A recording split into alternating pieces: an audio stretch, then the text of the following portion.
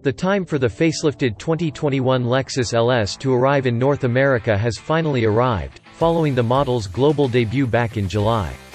The first examples of the new 2021 Lexus LS will arrive in dealers across the US this month, with prices starting from $76,000 for the LS 500. The hybrid LS 500h models will follow in early 2021 and their pricing will be announced closer to their launch. Lexus opted for a number of small improvements across the board to make the 2021 LS an even more comfortable vehicle without sacrificing its handling characteristics.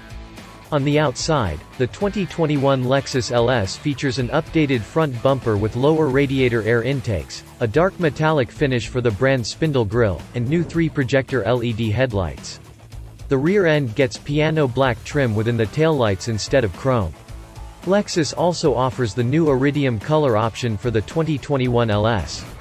F-Sport models get a dedicated color for the front grille and an extended garnish on the sides of the front bumper, as well as 20-inch alloy wheels. The sportier variant of the Lexus LS also gets larger front and rear brakes, and an optional dynamic handling package that adds a variable gear ratio steering, active rear steering, and the active stabilizer suspension. The revisions include new spring and damper rates, larger front and rear liquid-filled bushings for a plusher ride, and, optimized, front and rear anti-roll bars. In addition, Lexus has revised the solenoids and control valves of the adaptive variable suspension for, added suppleness and enhanced handling stability. The 2021 LS500's twin-turbo 3.5-liter V6 now features new pistons that feature a lip shape on their top for lower emissions and quieter operation when the engine is cold. Also updated is the wastegate control for better efficiency. The 10-speed automatic transmission gets a recalibrated shift strategy that helps keep the engine in its power band. The 3.5-liter V6 produces 416 HP and 442 pound-feet of torque, allowing the LS500 RWD to achieve a 0 to 60 miles per hour in 4.6 seconds. Customers can still opt for an all-wheel drive system, which features a Torsen limited slip differential. As for the 2021 LS500h, the hybrid powertrain has been further tuned to utilize a new battery strategy and offer more power through the electric motors during acceleration. The Shift software has also been updated to take advantage of the new changes.